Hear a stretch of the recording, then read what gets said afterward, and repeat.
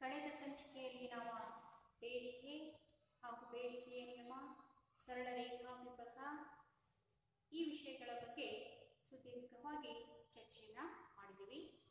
ಈ ಒಂದು ಸಂಚಿಕೆಯಲ್ಲಿ ನಾವು ಸಾಮಾನ್ಯ ಸರಕುಗಳು ಮತ್ತು ಕೆಳದರ್ಜೆಯ ಸರಕುಗಳು, ಪೂರಕ ಸರಕುಗಳು ಮತ್ತು ಬದಲಿ ಸರಕುಗಳು ಹಾಗೂ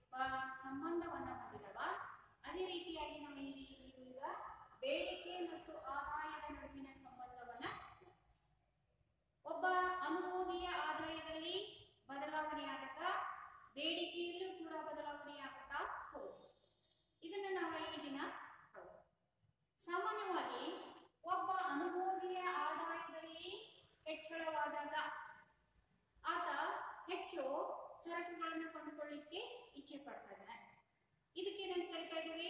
ಸಾಮಾನ್ಯ ಸರಕುಗಳು ಅಂತ ಹೇಳಿ ಕರಿತೀವಿ. ಅಂದ್ರೆ ಒಬ್ಬ ಬೆನ್ನುರೋಗಿಯ ಆದಾಯದಲ್ಲಿ ಹೆಚ್ಚಳ ಆದಾಗ ಹೆಚ್ಚು ಹೆಚ್ಚು ಸರಕುಗಳನ್ನ ಕೊಂಡುಕೊಳ್ಳಿಕ್ಕೆ ಇಚ್ಛೆಯನ್ನ ಪಡ್ತಾನೆ. ಒಂದು ವೇಳೆ ಆತನ ಆದಾಯದ ಪ್ರಮಾಣ ಕಡಿಮೆ ಇರ್ತದ್ರ ಕಡಿಮೆ ಸರಕುಗಳನ್ನ ಕೊಂಡು ಇದಕ್ಕೆ ನಾವೇನು ಕರಿತಾ ಇದ್ದೇವೆ? ಸಾಮಾನ್ಯ ಸರಕುಗಳು.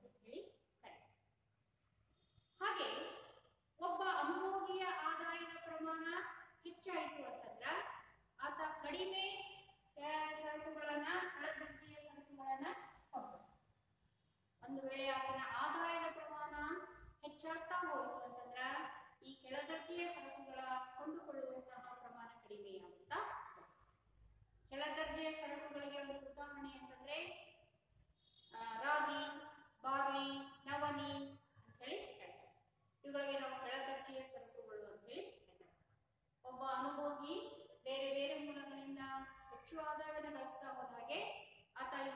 ಭಾರತೀಯ ಸರಕುಗಳನ್ನ ಕೊಂಡುಕೊಳ್ಳುವಂತಹ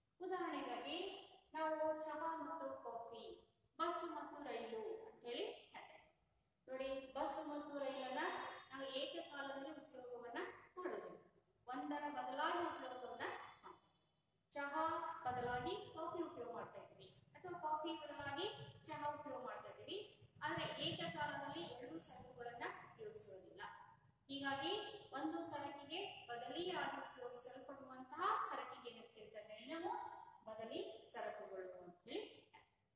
ಈಗ ಉದಾಹರಣೆ ತೆಗೆದು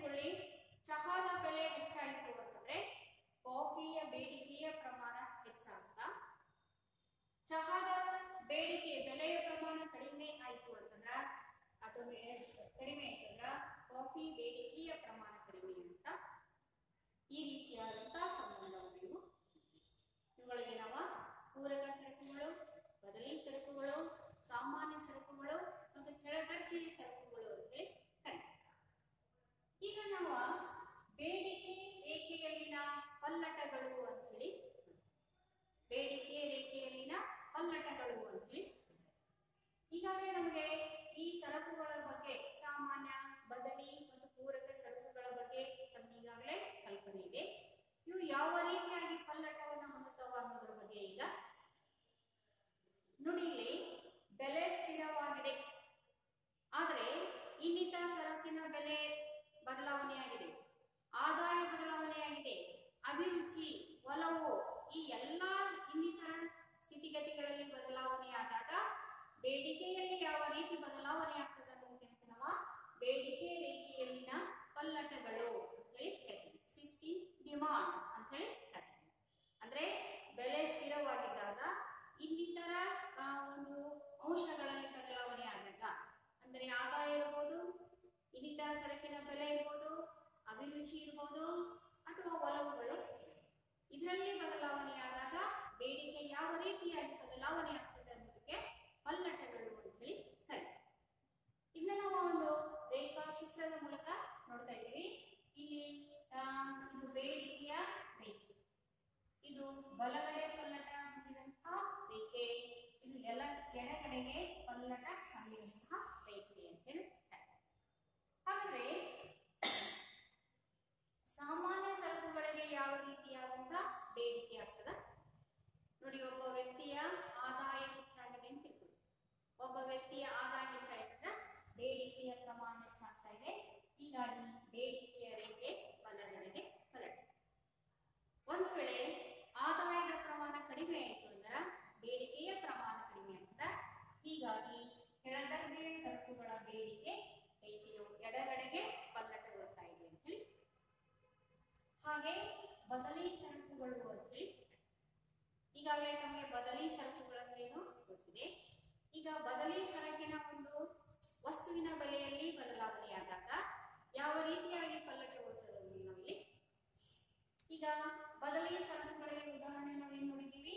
ಚಹಾ ಮತ್ತು ಸಕ್ಕರೆ. ಈಗ ಚಹಾದ ಬೆಲೆಯಲ್ಲಿ ಬದಲಾವಣೆಯಾದಾಗ ಸಕ್ಕರೆ ಬೆಲೆಯಲ್ಲಿ ಅಥವಾ ಬೇಡಿಕೆಯಲ್ಲಿ ಯಾವ ಬದಲಾವಣೆ ಆಗ್ತದೆ ಅನ್ನೋದನ್ನ ನಾವು ನೋಡಿದ್ದೀವಿ ಹಾಗೆ ಈ ಬದಲಿ ಸರಕುಗಳ ಬೆಲೆಗಳಲ್ಲಿ ಬದಲಾವಣೆಯಾದಾಗ ಅದರ ಬ, ಏನೇನಿದೆ? ಮತ್ತೊಂದು ಸರಕಿನ ಬೇಡಿಕೆಯ ಪ್ರಮಾಣ ಬಲಗಡೆಗೆ ಬದಲಾವಣೆ. ಅದರ ಬೆಲೆ ಕಡಿಮೆಯಾದಾಗ ಅದು ಎಡಗಡೆಗೆ ಪಲ್ಲಟಗೊಳ್ತದ ಇರುತ್ತೆ ಇವುಗಳಿಗೆ ಬದಲಿ ಸರಕುಗಳ ಪಲ್ಲಟಗಳು ಅಂತ ಹೇಳಿ ಕರೀತಾರೆ. ಹಾಗೆ ಆ, ಪೂರಕ ಸರಕುಗಳು ಅಂತ ಹೇಳಿ ಈಗ ಪೂರಕ ಸರಕಿನ ಬೆಲೆಯಲ್ಲಿ ಬದಲಾವಣೆ ಆದಾಗ ಅದರ ಮತ್ತೊಂದು ಸರಕಿನ ಬೇಡಿಕೆ ಏನಾಗ್ತದೆ ಎಡಗಡೆಗೆ ಪಲ್ಲಟಗೊಳ್ತಾ ಇದೆ ಪೂರಕ ಸರಕಿನ ಬೆಲೆಯಲ್ಲಿ ಕಡಿಮೆಯಾದಾಗ ಅದು ಬಲಗಡೆಗೆ ಪಲ್ಲಟ ಹೀಗಾಗಿ ಪೂರಕ ಸರಕಿನ ಬೆಲೆ ಏನಿದೆ ಒಂದು ವಿರುದ್ಧವಾದ ಒಂದು ಸಂಬಂಧವನ್ನು ಹೊಂದಿದೆ ಅಂತ ಹೇಳಿ ಹಾಗೆ ಈ ಒಂದು ಟಾಪಿಕ್ ಅಲ್ಲಿ ಬರುವಂತ ಇನ್ನೊಂದು ಕಾನ್ಸೆಪ್ಟ್ ಅಂತಂದ್ರೆ ಬೇಡಿಕೆ ರೇಖೆಯಲ್ಲಿನ ಚಲನೆಗಳು ಅಂತ ಹೇಳಿ ಇಲ್ಲಿ ಚಲನೆಗಳು ಅಂತ ಎದಕ್ಕೆ ಕರೀತಾ ಇದ್ದೀವಿಂದ್ರ ಇತರ ಸ್ಥಿತಿಗತಿಗಳು ಎಲ್ಲ ಸ್ಥಿರವಾಗಿವೆ ಆದ್ರೆ ಬೆಲೆಯಲ್ಲಿ ಮಾತ್ರ ಬದಲಾವಣೆ ಆಗಿದೆ. ಬೆಲೆ ಬದಲಾವಣೆ ಆಗ್ತಾ ಇದೆ. Other things remaining constant but there is change in price ಹೇಳಿ ಹೇಳ್ತಾರೆ. ಹೀಗಾಗಿ ಅದರಲ್ಲಿ ಬದಲಾವಣೆಗಳಾಗುವುದಕ್ಕೆ ಏನಂತ ಹೇಳಿದಾಗ ನಾವು ಬೇಡಿಕೆ ರೇಖೆಯೊಂದಿನ ಚಲನೆಗಳು ಅಂತ ಹೇಳಿ ಕರೀತಾರೆ. ನೋಡಿ ಈಗ ಒಂದು ವಸ್ತುವಿನ ಬೆಲೆ ಅಧಿಕವಾಯಿತು ಅಂತಂದ್ರ ಅದರ ಕೊಂಡುಕೊಳ್ಳುವಂತಹ ಪ್ರಮಾಣ ಏನಾಗ್ತದ ಕಡಿಮೆ ಅವಾಗ ಏನಿದೆ ಹಿಮ್ಮುಖವಾಗಿ ಚಲನೆಯನ್ನ ಒಂದು ವಸ್ತುವಿನ ಬೆಲೆಯ ಪ್ರಮಾಣ ಏನಾಗಿದೆ ಕಡಿಮೆ ಆಯಿತು ಅಂದ್ರೆ ಅನುಭೋಗಿ ಹೆಚ್ಚು ಸರಕುಗಳನ್ನು ಕೊಂಡ್ಕೊಳ್ಳಿಕ್ಕೆ ಇಚ್ಛೆ ಪಡ್ತಾನೆ ಅವಾಗ ಈ ಚಲನೆಯನ್ನ ಬೇಡಿಕೆಯ ರೇಖೆಯ ಚಲನೆ ಮುಮ್ಮುಖವಾಗಿ ಪಲ್ಲಟ ಚಲನೆಯನ್ನ ಹೊಂದಿದೆ ಹೀಗಾಗಿ ಈ ಮುಖ ಮುಮ್ಮುಖ ಅಂತ ಹೇಳಿ ಹೀಗೆ ಇತರ ಸ್ಥಿತಿಗತಿಗಳು ಇವೆಲ್ಲ ಸ್ಥಿರವಾಗಿವೆ. ಕೇವಲ ಬೆಲೆಯಲ್ಲಿ ಬದಲಾವಣೆ ಆದಾಗ ಅದು ಬೆಲೆ ಅಧಿಕವಾಗಿತ್ತು ಅಂತಂದ್ರ ಹಿಮ್ಮುಖ ಚಲನೆ ಹೊಂದಿದೆ ಬೆಲೆಯ ಪ್ರಮಾಣ ಕಡಿಮೆ ಆಗಿತ್ತು ಅಂದ್ರ ಮುಮ್ಮುಖವಾಗಿ ಅದು ಚಲನೆಯನ್ನ. ಹೀಗೆ ಈ ಒಂದು ಕಾನ್ಸೆಪ್ಟಲ್ಲಿ ನಾವು ಬೇಡಿಕೆ ರೀತಿಯ ಚಲನೆಗಳು ಪಲ್ಲಟೆಗಳು ಹಾಗೆ ಸಾಮಾನ್ಯ ಸರಕುಗಳು, ಬದಲಿ ಸರಕುಗಳು ಕೆಳದರ್ಜೆಯ ಸರಕುಗಳು ಎಲ್ಲ ವಿಷಯಗಳ ಬಗ್ಗೆ ನಾವು ಅಧ್ಯಯನವನ್ನು ಇನ್ನು ಪರೀಕ್ಷಾ ದೃಷ್ಟಿಯಿಂದ ಇದರಲ್ಲಿ ಒಂದು ಅಂಕದ ಪ್ರಶ್ನೆಗಳು, ಎರಡು ಅಂಕದ ಪ್ರಶ್ನೆಗಳು ಉದಾಹರಣೆ ಹೇಳಬೇಕು ಅಂತಂದ್ರೆ, ಪೂರಕ ಸರಕುಗಳೆಂದರೇನು? ವ್ಯಾಖ್ಯಾನಿಸಿ. ಅವುಗಳಿಗೆ ಎರಡು ಉದಾಹರಣೆ ನೀಡಿ. ಈ ರೀತಿಯ ಪ್ರಶ್ನೆಗಳು ಅಥವಾ ಫೋರ್ ಮಾರ್ಕ್ಸ್ ಅಲ್ಲಿ ಬೇಡಿಕೆ ರೇಖೆಯ ಚಲನೆಗಳನ್ನ ರೇಖಾಚಿತ್ರದ ಮೂಲಕ ವಿವರಿಸಿ ಅಂತ ಹೀಗಾಗಿ ಈ ಒಂದು ವಿಷಯಗಳನ್ನ ಸರಿಯಾಗಿ ಓದ್ಕೊಂಡಿದ್ರೆ ನಿಮಗೆ ಪರೀಕ್ಷೆಯಲ್ಲಿ ನಾವು ಬರಲಿಕ್ಕೆ ಸುಲಭವಾಗ್ತದೆ ಅಂತ ಹೇಳಿ ಥ್ಯಾಂಕ್ ಯು